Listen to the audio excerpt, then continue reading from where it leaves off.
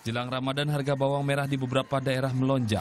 Di Jakarta, harga komunitas bumbu dapur itu sudah menembus di atas Rp40.000 per kilogram. Sementara di sejumlah daerah, harga bervariasi antara Rp38.000 hingga Rp45.000 per kilogram. Mengimpor 2.500 ton bawang merah pun dipilih pemerintah untuk kembali menstabilkan harga dan sebagai cadangan sebelum panen raya bawang di beberapa daerah. Berjaga-jaga jangan sampai dalam bulan Ramadan ini terjadi dan ingat itu impor menjaga eh, jangan sampai dalam bulan suci Ramadan ini tiba-tiba harga naik. Rencana impor bawang ini pun ditolak sejumlah petani di Yogyakarta. Impor dikhawatirkan akan membuat harga bawang merah lokal terus jatuh dan petani merugi. Impor itu kalau petani menurut saya petani semua petani bawang ini pasti tidak setuju karena itu tadi.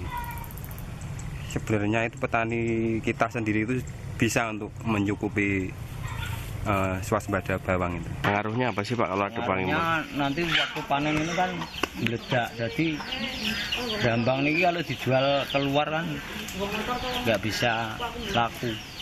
Itu pengaruhnya. Berarti kalau- banyak impornya Sementara Asosiasi Bawang Merah Indonesia mendata kebutuhan bawang merah untuk skala nasional mencapai 80 ribu ton per bulan. Masih bisa tercukupi dari stok petani lokal.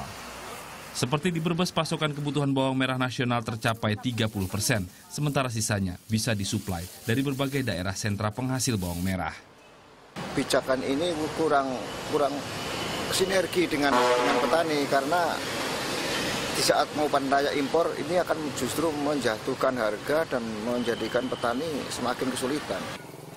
Bawang merah merupakan salah satu jenis pertanian yang sulit dikendalikan kestabilan produksinya. Pada musim panen, produksinya bisa sangat melimpah sehingga membuat harga menjadi jatuh.